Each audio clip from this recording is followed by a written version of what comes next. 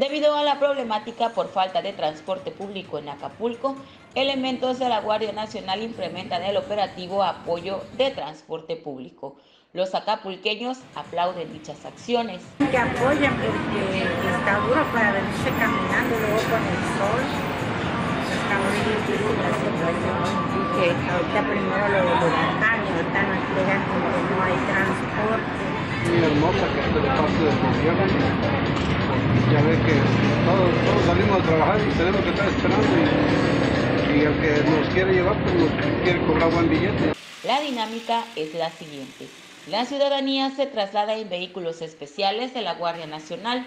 Los horarios establecidos son de 6 a 8 de la mañana, de 12.30 del día a 3 de la tarde y de 6 de la tarde a 8 de la noche, teniendo tres rutas principales desde el centro comercial La Isla en la zona Diamante al centro del puerto, del paradero de las Cruces a la avenida Cuauhtémoc en la clínica número 9 de IMSS y del mercado al área de Caleta y Caletilla. Con imágenes de Ignacio Pérez para RTG Noticias, Beatriz Galindo Matamoros.